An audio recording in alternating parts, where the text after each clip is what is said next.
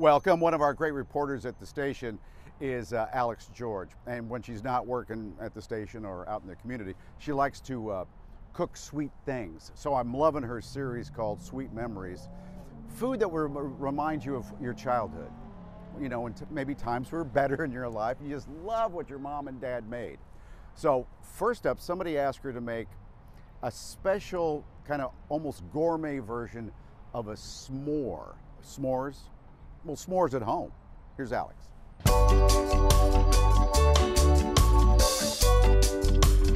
Alex, I haven't had s'mores since I went to camp. Can you make me s'mores? Yes, we can make s'mores. So a traditional s'more, you got graham cracker, marshmallow, chocolate, pretty straightforward, but you usually need a campfire. So today, we're gonna take it up a notch. We're giving you portable s'mores. The best way to eat a s'more, my favorite way, a s'mores bar. Yummy, yummy, yummy. We are gonna take this brown sugar situation and this butter, we're gonna melt it all down on the stove, and eventually we're gonna turn it into a dough.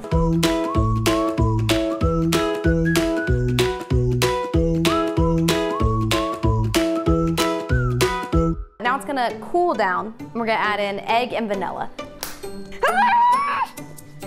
Okay, we added the egg. We couldn't wait any longer. We're adding vanilla. I always eyeball vanilla. Baking powder into flour. Whoa, whoa, wee, whoa. There we go. Uh, the, that's really like why I'm wearing the apron, because it's just, it's like an instant towel. I'm not even really protecting the top half of myself at all. I still wanted you to see my cute sweater from Target. It's gonna be kind of runny, but it's gonna make a really delicious blondie-esque sort of dough that's still like gooey when it's cooked. So yeah, that's the vibe. This is the worst spatula probably ever created on earth, I think. Um, I don't know who made it, but I would like to hold them accountable. We are moving this dough into the pan of which we made a, a baby sling for. And we're gonna spread it into a pretty thin layer using my favorite kitchen tool, which won't disappoint me, and that's called an offset spatula.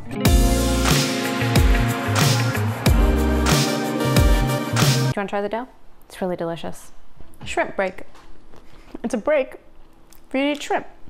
Okay, swing. Uh, we're just gonna test these, make sure they come out with a little nothingness, and they did. So cheers to that, and we're gonna take them out. With this cute little, uh, what is this? Um, uh, come on, come on, what are you called? Oven mitt. It's, uh, it's oh. an oven mitt. Oh, I thought we were trying to guess what animal it was. We've got our bottom sort of graham crackery cookie layer, and to make it s'mores, all we're gonna do for the chocolate layer is add chocolate chips to this. And because it's hot, it's fresh out of the oven, the chocolate chips are just gonna melt right on top.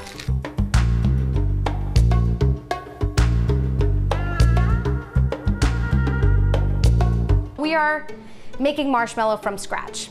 First thing you've gotta do is get cream of tartar and you're gonna mix that up in a stand mixer. It has to be a stand mixer.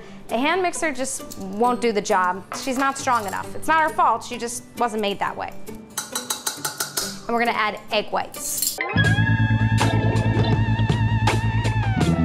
Now we're adding this into the cream of tartar. We're gonna whisk this up.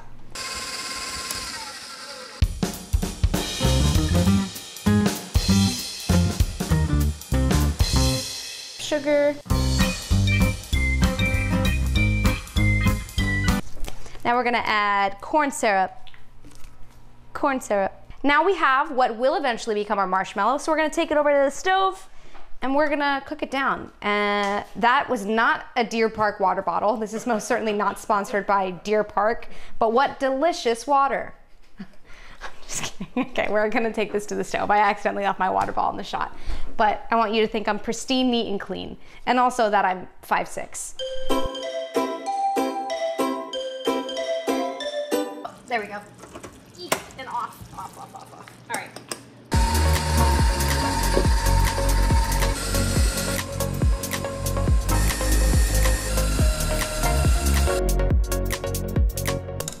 Marshmallow fluff in the jar is already delicious, so I just, there is no way to go wrong by making it yourself.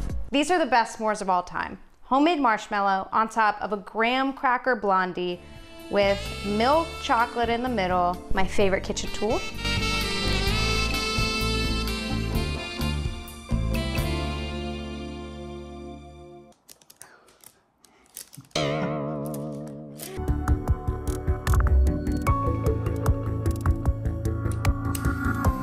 This, this is fulfilling parts of me I didn't even know needed to be fulfilled.